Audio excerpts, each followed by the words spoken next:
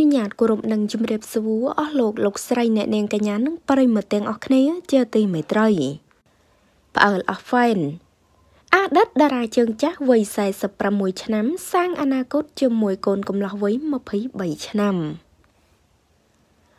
បើយោងទៅតាមគណនី Facebook ផ្លូវការរបស់លោកអឹមជីវ៉ានៅថ្ងៃនេះបានបង្ហោះនៅរឿងរ៉ាវមួយដែលស្ទើរមិនគួរឲ្យជឿដែលកំឡោះវ័យ23ឆ្នាំ សុកចិត្តព្រមចាប់ដៃគ្នាកសាងជីវិតអនាគតជាមួយនឹងនារីដែលមានវ័យ46ឆ្នាំ ដែលជាអតីតតារាចម្រៀងជើងចាស់គឺអ្នកនាងសានសុកកក្តាអាពាហ៍ពិពាហ៍នេះត្រូវបាន ប្រព្រឹត្តធ្វើឡើង នៅថ្ងៃទី18ខែកុម្ភៈឆ្នាំ2020នេះតែម្ដង នាបុរីគ្រីស្តាល់ក្រុងតាខ្មៅខេត្តកណ្ដាល ក្នុងនោះផងដែរក៏មាន អ្នកសិល្បករសិល្បករនីនិងភ្ញៀវកិត្តិយសដទៃទៀតបានចូលរួមយ៉ាងច្រើនកកកជាមួយគ្នានេះដែរអមដោយស្នាមញញឹមជាមួយនឹងការតុបតែងខ្លួនយ៉ាងស្រស់ស្អាតស្រស់សង្ហាគ្រប់គ្រប់គ្នា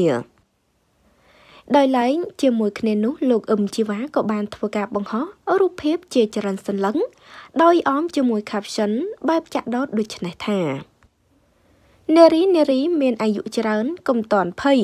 កូនកំឡោះអាយុ23ឆ្នាំ កូនក្រមុំអាយុ46ឆ្នាំ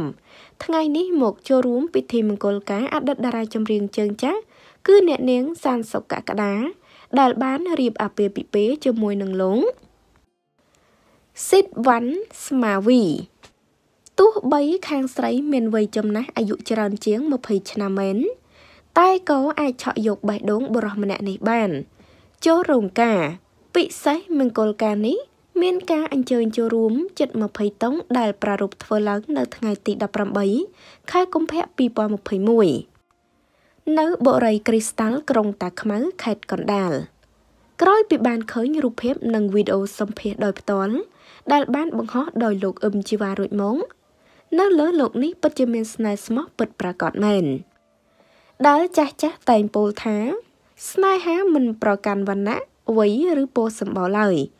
ព្រោះឃើញថាគូស្វាមីភរិយាមួយគូនេះពិតជាស្រឡាញ់គ្នាចិត្តនឹងចិត្តពិតប្រាកដមែនចាសូមចូលរួមអបអរផង ពេលនេះតារាចម្រៀងជើងចាស់គឺអ្នកនាងសានសុកកក្តាដែលគាត់មានអាយុ46ឆ្នាំហើយបានរៀបការជាមួយនឹងកូនកំឡោះមានអាយុទៅតែ23ឆ្នាំ ស្នេហាមិនប្រកាន់អាយុវ័យពណ៌សម្បោឬក៏ភេទឡើយ ដូចជាមួយគូនេះជាដើម អ្វីដែលកាន់តែធ្វើឲ្យមហាជនចាប់អារម្មណ៍នោះ